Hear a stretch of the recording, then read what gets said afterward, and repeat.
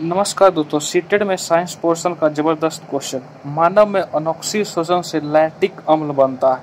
पौधे में अनोक्सी शोषण से अल्कोहल बनाया जाता है।